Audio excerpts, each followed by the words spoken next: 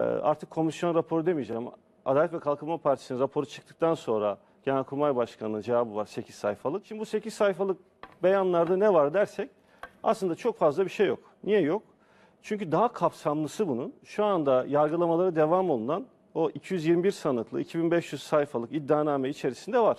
Akıncı iddianamesinde hem ana e, darbe iddianamesinde e, hem de bir iki kez beyanları alınmış durumda kuvvet komutanlarında. Dolayısıyla burada verilen cevaplar çok kapsamlı cevaplar değil, doyurucu cevaplar değil. Bizim burada temel olarak öğrenmek istediğimiz mesele şuydu. Birincisi dedik ki nasıl oluyor da bir cemaat terör örgütüne dönüşüyor? Bundan kimsenin haberi olmuyor. Bunlar devletin en kritik kurumlarına sızıyorlar ve çok yakın tarihlerde yani darbe ne zaman oldu? 15 Temmuz 2016 tarihinde oldu. Ondan birkaç öncesine kadar etkin olup meclisten dahi yasa çıkartan bir örgütten bahsediyoruz. Bunlar nasıl gerçekleşti? Yani soyut iddialar değil bizim iddialarımız. İddianameler de var biz oradan okuyoruz. Diyor ki iddianamede FETÖ'cüler kendilerine kadro açabilmek için çok sayıda albayın emekliye sevk edilmesine yönelik yasayı meclisten çıkarttılar diyor. Ne zaman diyor? Darbeden iki ay önce diyor. Buna kim sebebiyet verdi? Yani bu yasa teklifini öneren 37 tane milletvekili var Adalet ve Kalkınma Partisi imzalayan. Onlara kim bunu şey yaptı? Mecliste de bu tartışma olduğunda doyurucu bir cevap almamıştık. Şimdi küçük küçük parçaların hepsini birleştirdiğimiz zaman ortaya böyle şöyle bir tablo çıkıyor. Yani biz diyoruz ki kurul, bu darbe araştırma komisyonunun kurulduğu günden itibaren ya herkesin gözü önünde gerçekleşen bir darbe girişimi var.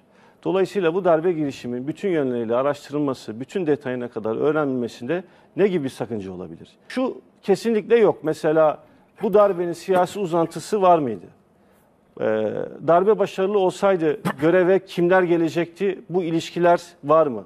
Biz ilk etapta şunun tespitini istemiştik. Yargıya müdahale olur, gizlilik var denmişti. İşte sürekli basında haberler çıkıyor. Mecliste baylokçu var mı? Mecliste bu FETÖ örgütünün kullandığı yazılım programlarını, haberleşme sistemlerini kullananlar var mı? Böyle bir tespit var ya da yok şeklinde muhakkak gelmeli ki mecliste bu şaibenin üstünde, meclisin üzerinde bu şaibe kalksın. Bir yapılanma var, bir e, örgüt var ama bu her alanda faaliyeti var.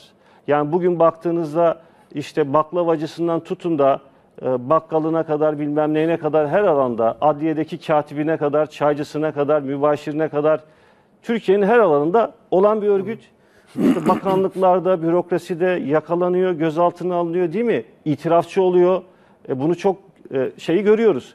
E, peki böylesine bir şeyin Türkiye Büyük Millet Meclisi'ni ıskaladığını mı düşüneceğiz? Ya da bir darbe girişimine girişirken siyaset anlamında hiçbir temas yapmadan sadece e, belli bir alanda mı bu kararı verdiğini düşüneceğiz? 15 Temmuz'u özel.